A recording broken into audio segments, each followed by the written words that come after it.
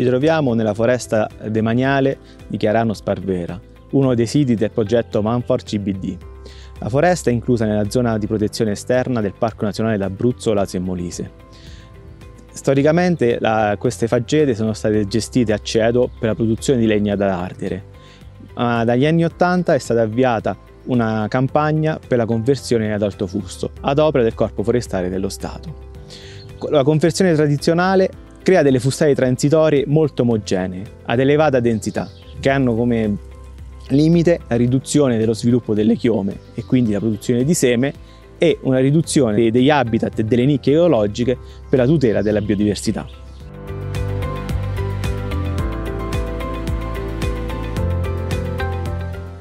All'interno del progetto Manfor abbiamo sperimentato degli interventi serviculturali che mirassero innanzitutto a ridurre la, la, la densità del bosco per favorire lo sviluppo delle chiome e preparare la foresta alla rinnovazione naturale. E in seguito siamo andati a movimentare la struttura sia dal punto di vista orizzontale che verticale per creare delle, diciamo, dei, degli habitat e delle nicchie per la protezione e l'aumento della biodiversità. Operativamente abbiamo individuato eh, un numero variabile tra 80 e 40 piante candidate attorno alle quali è stato effettuato un diradamento dei, dei diretti competitori.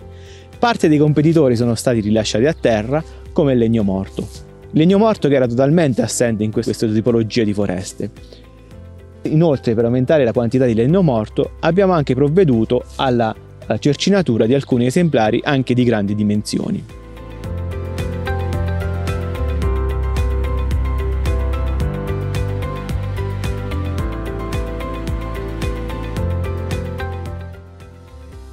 La realizzazione tecnica operativa del, di, questi, di questo tipo di intervento non presenta delle grandi difficoltà.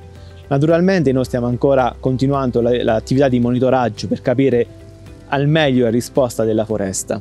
Anche dal punto di vista economico, questo intervento risulta totalmente sostenibile, in quanto abbiamo eh, ritratto dal bosco una quantità di legname maggiore, ma soprattutto di dimensioni eh, più grandi che possono in qualche modo coprire le spese per la realizzazione delle cercinature oppure per il rilascio delle piante morte a terra.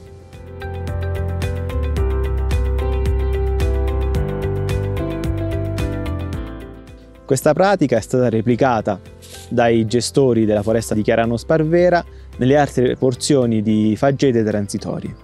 Inoltre un intervento molto simile è stato effettuato anche nel comune di Collelongo, sempre in una fangeta transitoria con un'elevata densità eh, di piante.